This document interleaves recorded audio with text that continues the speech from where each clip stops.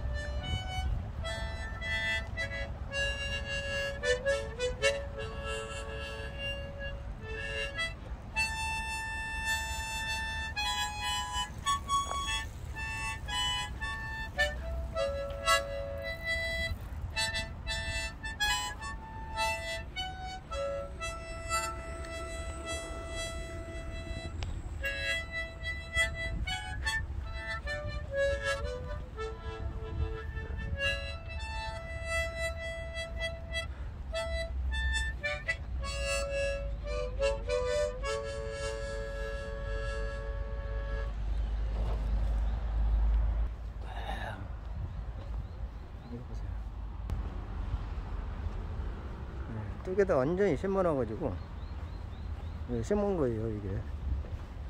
이거 보세요 양귀비. 장관이라 양귀비가 색이 여러 가지. 이게 계란경입니다 양귀비. 빨개 색이 안 변해요 양귀비라. 장미 같은 건 며칠 되면은 색이 변해버리지 않습니까? 양귀는 잘 안 변해요.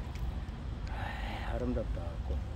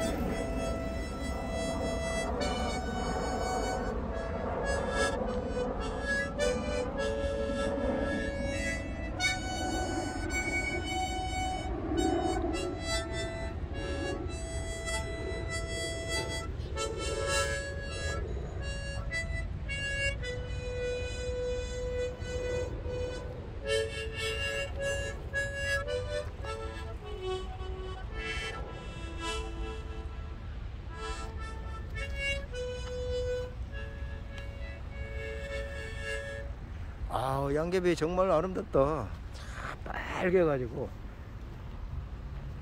아, 이거 봐요. 꽃을 보니까 반해버렸네, 저 진짜. 저녁 먹고 제가 지금 나왔거든요. 와이프하고 같이 안양천 걷고 있어요, 지금. 아, 근데 이 장관이네. 그 양귀비를 지금 대량으로 이렇게 뿌려가지고 심어놨네. 그냥 잡풀 속에 묵어져 가지고